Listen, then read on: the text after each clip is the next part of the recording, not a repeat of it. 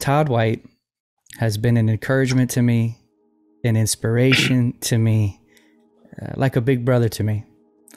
And though I have seen traveling with him the deaf hear and scars vanish from people's bodies, the thing I love most about him is his consistently laying his self aside that Christ may be glorified.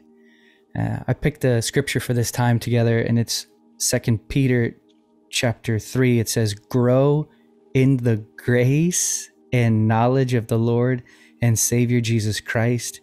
To Him be the glory, both now and to the day of eternity."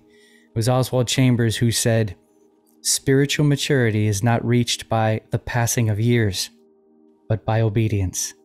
Some people mature into a understanding of God's will more quickly than others simply because they obey more readily.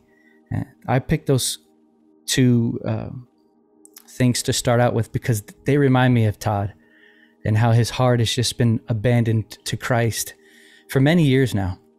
So, Todd, thanks so much for jumping on with me. Yeah, man. I I love you. You are my you are my picture of intimacy. I love it, man. You're you're one of the most joy-filled people, lovers of Jesus that I've ever met in my life, man. I am and I want to be like you. I want to be like you. I'm envious of your beard, though. Look at that. yeah, it's uh, it's it's pretty gray. it's great. Yeah, so, I love it, man. Let me ask you. You've been walking with the Lord for years now. Yeah. And what's some of the things that you learned in the very beginning that have kept you through the years? Yeah, well, um, woo.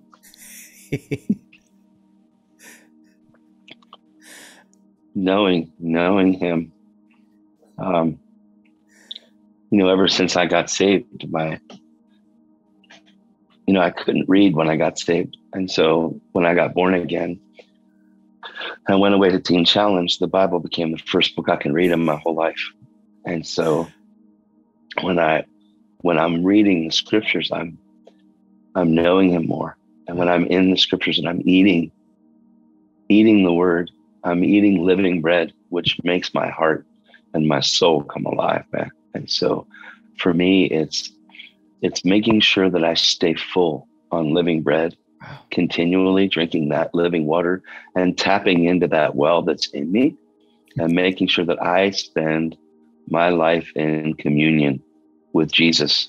Um, there's never been a day that's gone by since I've been saved for 17 years that I haven't spent time with him. and and as I as I'm growing more and more because every day is mercies new. So today I will be stronger than I was yesterday yes. in the Lord because I will be weaker in the flesh and stronger in spirit. And so I'm going to grow today tremendously. And each, every opportunity that we have, no matter what it is, no matter what kind of trial you're facing, is another opportunity to manifest Him and not you. Wow. So as I'm growing, in the word and, and focusing on the renewing of my mind. Renewing your mind doesn't just happen when you're reading scripture. Mm-hmm. Renewing of your mind happens when you devour scripture and when you're in there and you see Jesus in everything you read. And so I'm always, always, always an advocate of making sure that you spend time away with him. You know, you sent me that uh, that song, Jonathan McReynolds, I think his name is. And it was, I'll make room. Yeah. And I cried so hard because it says that I, I find time for what I treasure. I'll, I'm going to find time for what I want. And he's talking about priorities. And he says, Jesus, you are my priority. Whew. I will make room for you. I will make room for two. And so that is the essence of consistency. Because if you're if you're intimate with Jesus, you can't help but to be consistent. But if you're not intimate with Jesus, then you're intimate with the world. Mm-hmm. So you cannot be one, you can't be both. You can't be intimate with the world and intimate with Him. Yes. If you're intimate with Him, your flesh becomes crucified and you no longer live, but the life you live, you live by faith in the one that gave Himself for you. In Galatians, it says, crucified to the passions, lust of this world, so that I can actually be one with Him. Yeah. But you can't be one with Him and one with the world. You know, First John talks about the reality of loving the world and loving God, and he says you cannot. You know, in in Matthew six, he's talking about mammon, and he said you can't love God and money, but you can't love God and anything.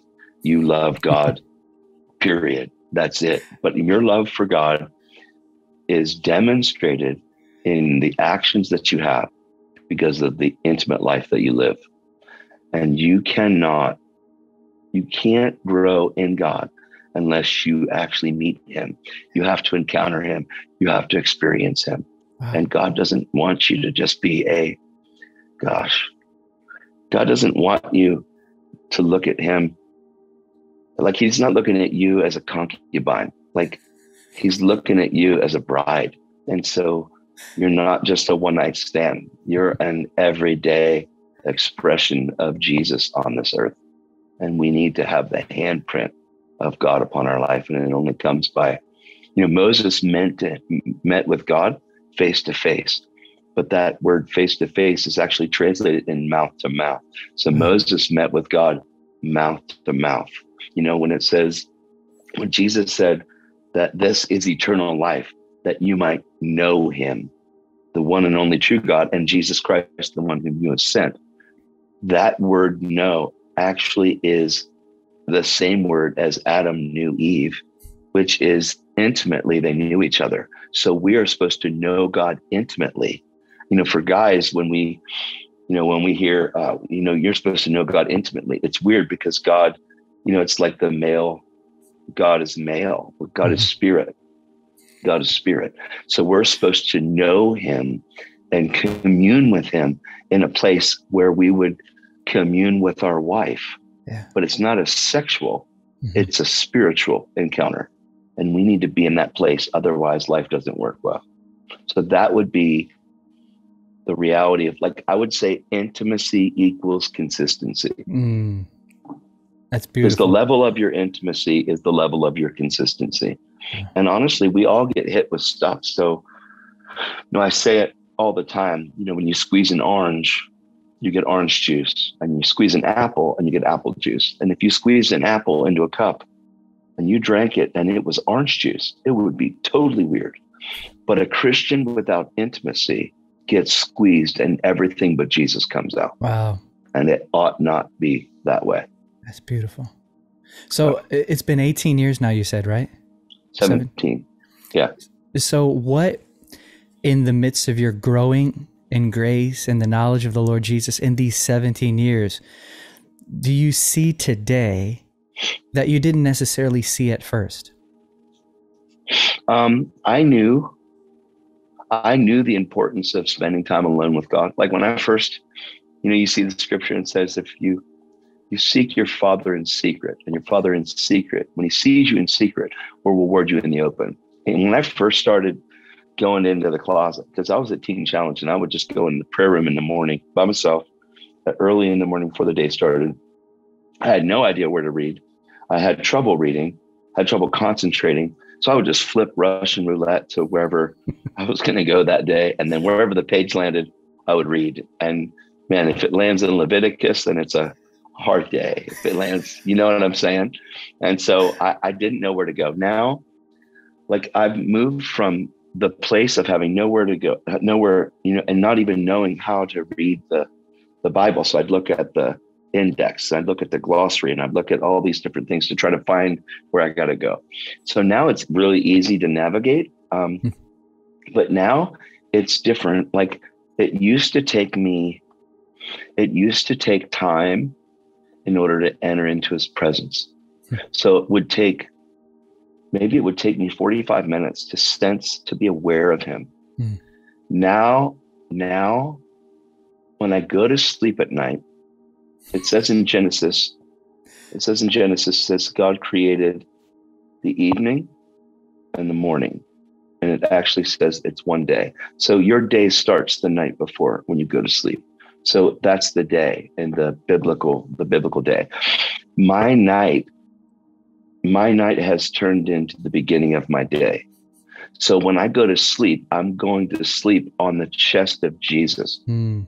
And when I wake up, I'm waking up from the chest of Jesus to go into my bathroom, to head straight to my closet, to close the doors, to know that He's already with me when I go there. So it's the conscious awareness wow. of His presence consistently to where I don't have to try to discern where are you. And even though He's in us and He'll never leave us, there's a difference between the manifest presence mm-hmm. and just the presence that you know that he's there. I don't want to just know him that he's there. I want to sense that he's here mm-hmm. on a consistent basis. Um, when I would go into malls or grocery stores or Walmarts, whatever, and I started praying for the sick, I would just go out there and pray for as many people as I could. Um, I would pray for actually an average of about 10 people a day. And for about 900 and some people before I saw my first miracle. I never felt anything. There wasn't a tangible feeling. And honestly, it it probably it was probably 15 years wow. of not I would feel goosebumps here and there. I would now it's an active now it's an active like when I turn my affection. Mm.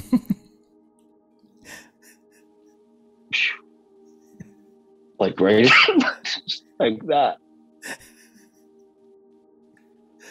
He's just here. When I turn my affection towards him, he's here. Like I can feel him on my neck and all the way down my arms. And it I'm starting to feel a heat on my left side. It's just started. I'm in my prayer chair in the morning and I'm praying and I feel a heat all the way down my left arm. Feels like a, a it feels like a sun is shining on my skin, but I there's nothing there except it's him. And I'm like, God, I I want to know what you're doing. Like I just want to know. Like a little kid, I've never grown up. I've gotten younger. It seems like in in my heart, in that just the joy of spending time with him has become fascinating to me. And I I fight for I fight for time.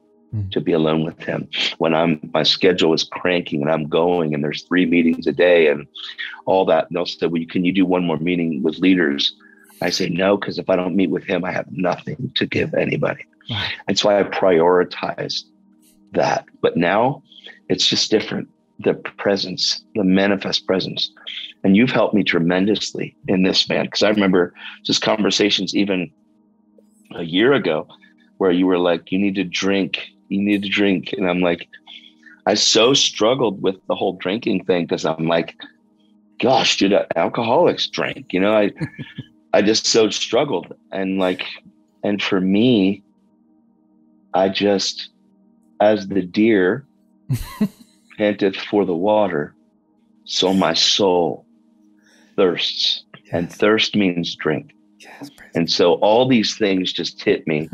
and I'm like, holy mackerel, like I'm ready to drink. Like, Lord, I'm ready. Jesus said, All of them who are thirsty come to me, and I will give them living water. Come, the woman at the well, same thing.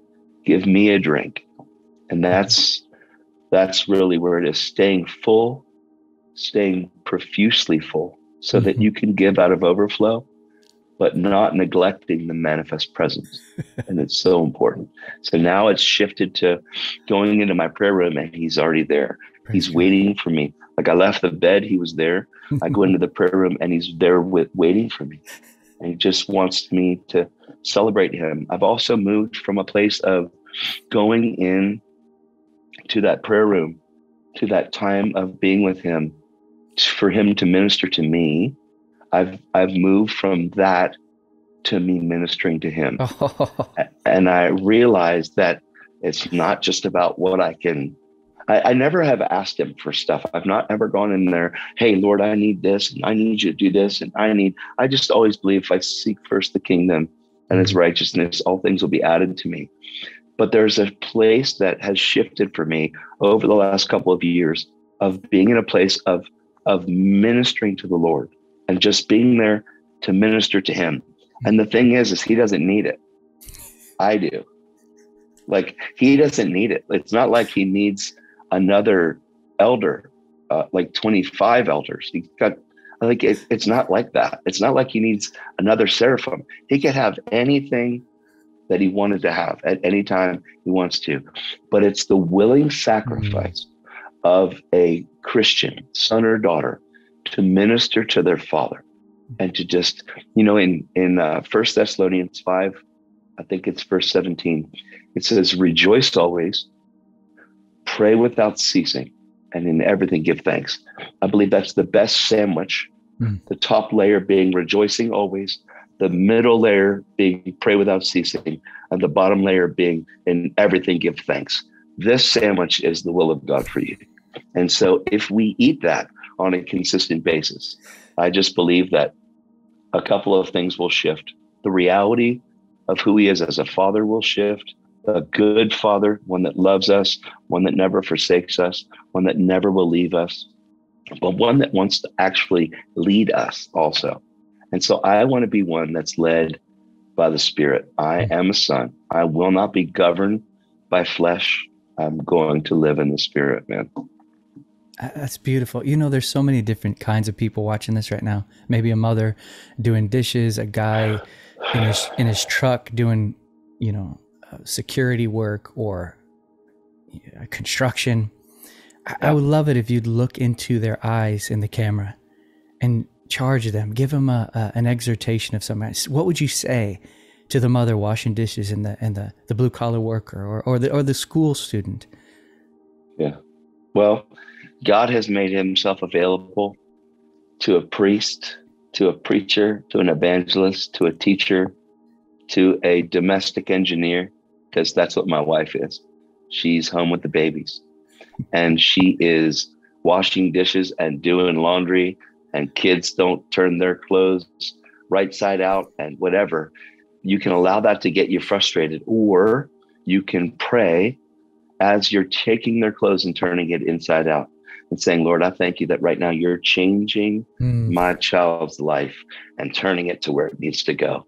Father, I thank you. I bless you, Lord. No matter where you're at, no matter what you're doing, you have access to the same presence.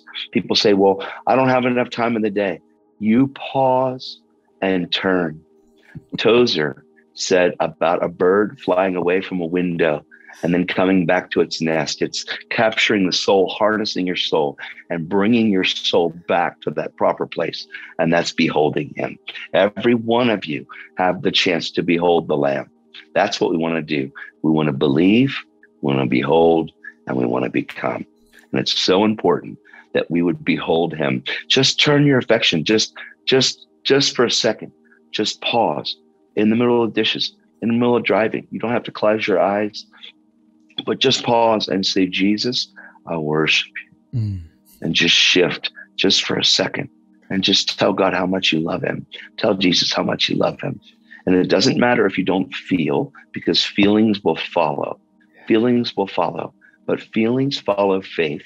Yes. If feelings have to precede faith, you'll be caught living by feelings. Yes. But if feelings follow faith, it's the healthiest place to be. So, Lord, I just thank you for that woman that's washing dishes. I thank you for that, for that worker that's working in the rest home, that's watching this on her break. I thank you for that factory worker that is completely dirty from the shift that he just did, that is on his way home.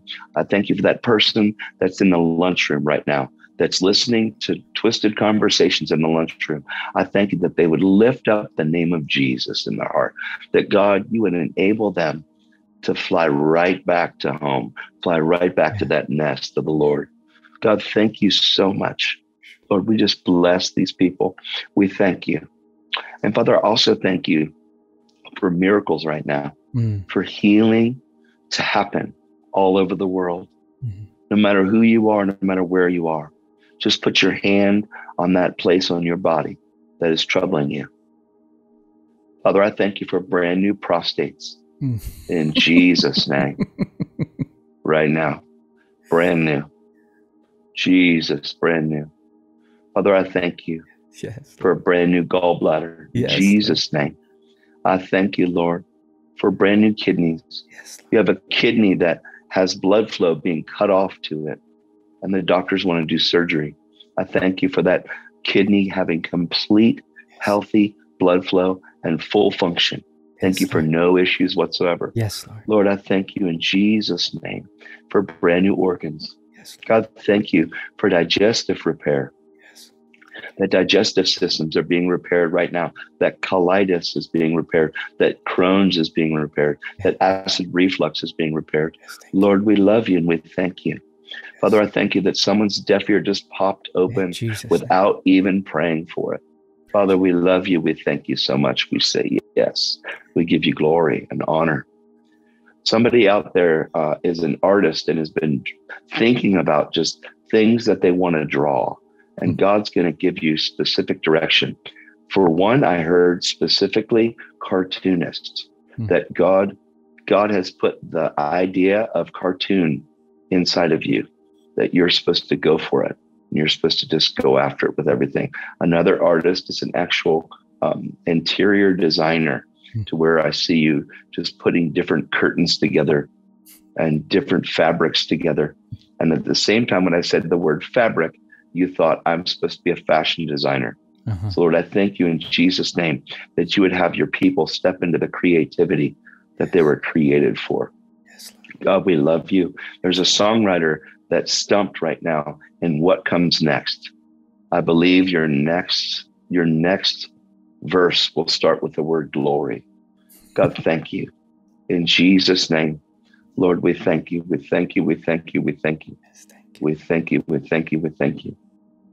God, thank you for complete wholeness. Again, back to healing. God, thank you for brand new hearts and and brand new or brand new organs, brand new lungs. Lord, thank you that COPD PD is being healed right now. In Jesus' name. Lung cancer is being healed right now. Yes. In Jesus' name. I thank you, Father, for blood disorders being healed right now. In Jesus' name. Lord, you're so good. Yes. We love you. God, I thank you for complete wholeness. You are so good. Jesus, we thank you. We thank you. Wow, I really heard in my heart that you have a Facebook addiction, wow. That that thing is being broken off so that you can actually find time to make room for two. That you would pull away to find time to make room for two. Jesus, we thank you. We love you. We give you glory. Somebody somebody was thinking about ending their life because they broke up their girlfriend broke up with them and they don't think that they can go on. I would like to tell you that God is redeeming your life right now Hmm. in Jesus name Jesus. and name. joy is going to start to flood your soul and a warmth is going to come right behind your ears on the back of your head down your neck and the whole way into your chest because god is giving you a new heart Hmm. god we thank you in the name of jesus father you're so wonderful well that's weird. I saw a rollerblading accident that that hurt your left knee and you absolutely absolutely twisted it out. Father i thank you for a brand new left knee in jesus name. Jesus' name. completely whole.